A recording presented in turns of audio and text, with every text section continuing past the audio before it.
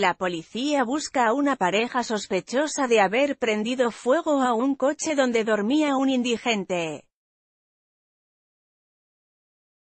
El hombre, de 43 años, ha sido ingresado en el hospital Carlos Haya con quemaduras de segundo grado. Se encontraba dentro del vehículo abandonado, dentro de un solar de grandes dimensiones y rodeado por una tapia de un par de metros.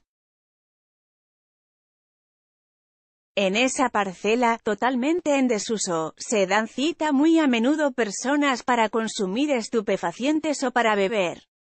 Y lo hacen tanto dentro como fuera del vehículo. El hombre, vecino del barrio, se encontraba dentro del coche cuando empezó a sentir calor y a percibir un fuerte olor a gasolina.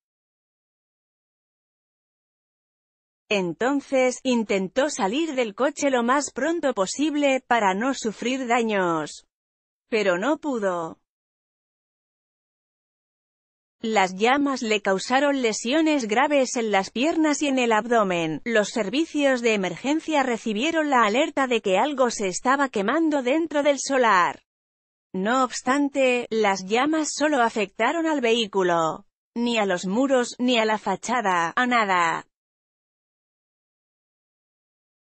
Allí se trasladaron los bomberos, la Policía Nacional y local y la científica, tratando de esclarecer quiénes han podido ser los causantes del incendio. El hombre fue trasladado al hospital. Se encuentra estable dentro de la gravedad y, aunque sigue ingresado en la unidad de quemados intensivos, no se teme por su vida. El fuego, según la investigación, habría sido provocado por dos personas. Algunos testigos apuntan a una pareja que salió del solar, no es algo que haya pillado por sorpresa a los vecinos.